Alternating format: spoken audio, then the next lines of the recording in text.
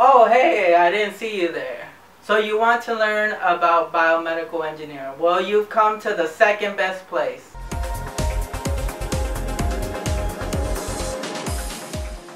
Biomedical engineers use biology, medicine, and engineering to design and create equipment, devices, and computer systems used in healthcare today.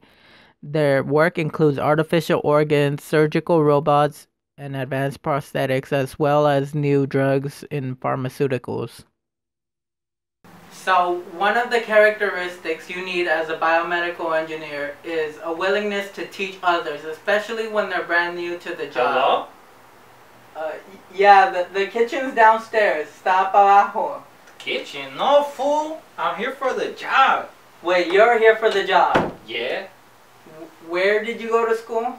Uh, H- Harvard? Harvard? You went to Harvard. Yeah? The one in Massachusetts. Yeah, fool. The one in Massachusetts. Okay, okay. Another ability a biomedical engineer needs is the ability to think analytically What's 9 plus 10? 21. and solve problems. 2 times 5 equals. And you said you were good at math?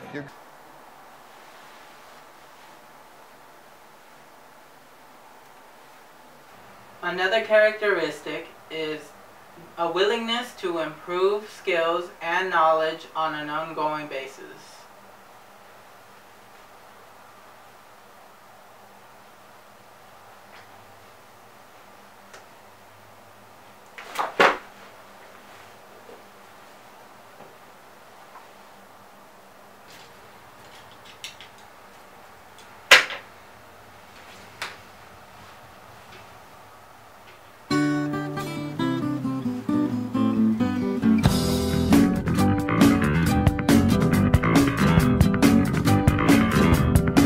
One of the things a biomedical engineer does is design robotics in order to assist in surgery.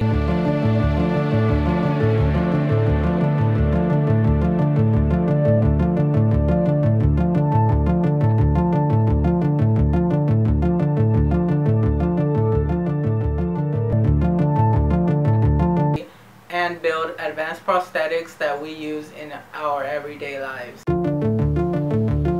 So, Matt, I'm going to go and turn on the arm. Try and go up. Okay, and back down. did the robotics one, right? This is the most complex Three, robotic two, arm in one. existence today. You can control that using thought from the brain. As humans, we are tool users. And every time we invent a only new getting tool, my arm, that right? changes the way Yeah, fool. we live.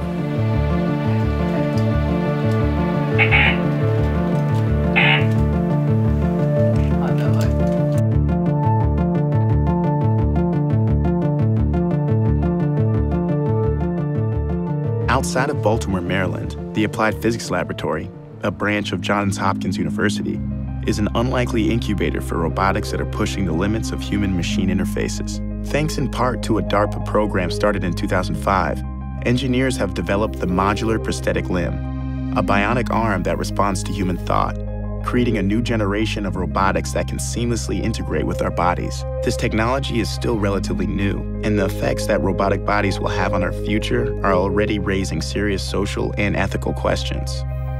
There's a lot of interest in how this is affecting the way we evolve. Where's this all go in the future? You know, I think we're just at the beginning. It could be tremendous. Scientists are trying to bridge the gap, but it's the patients that will push the limits of this technology forward. The average salary is $88,000 a year, but in San Diego it is 33% below national average at $50,296 a year. The job will grow at 7% as fast as average between the year 2016 and 2026. The education required for biomedical engineering is a bachelor's degree at entry level and a need to stay updated in modern medicine trends. So even if you finish school, you never really stop learning. Potential hiring sources include hospitals, universities, research organizations, diagnostic and medical instrumentation manufacturers and charities. An organization that helps biomedical engineers is known as the American Institute of Medical and Biological Engineering, also known as AIMBE. They help recognize and honor contributions and achievements uh, in the field of medical and biological engineering. They help set events and lectures in order to help them stay relevant in today's modern medicine. The pros of becoming a biomedical engineer is one, they are suitable for creative problem solvers. Two, they have high salary. I gotta do it, man.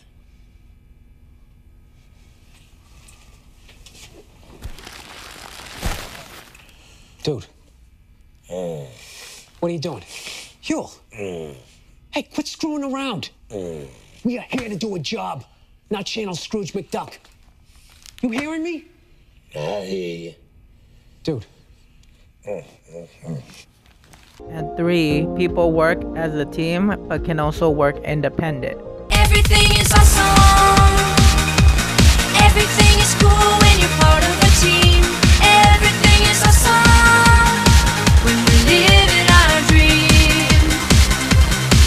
Cons are one, it's not suitable for people who completely want to work alone. Fly home, buddy.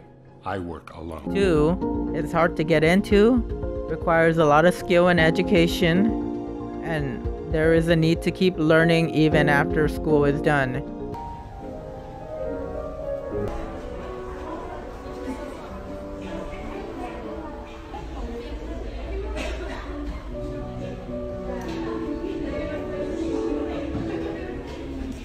Three, long work hours.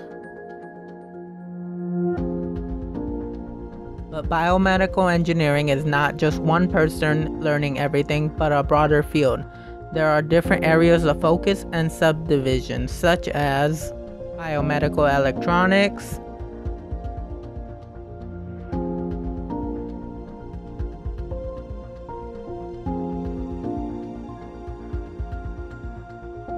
orthopedic bioengineering,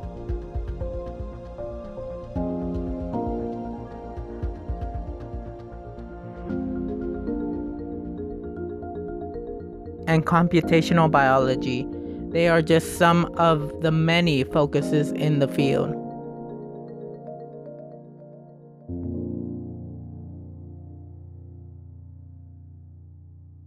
In conclusion, the world of medicine is advancing every day. The creations built by engineers will only become more and more prevalent in everyday life.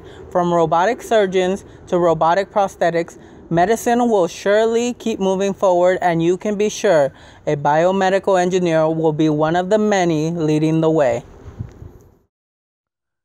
This video was brought to you by BLS.gov, Mendeley.com, guides.libraries.psu.edu, cmbes.ca, targetjobs.co.uk, indeed.com, owlguru.com, youtube.com, and aimbe.org.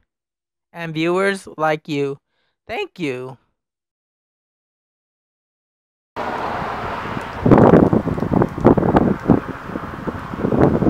What are you still doing here? Get out of here, it's over. No, seriously, it's over.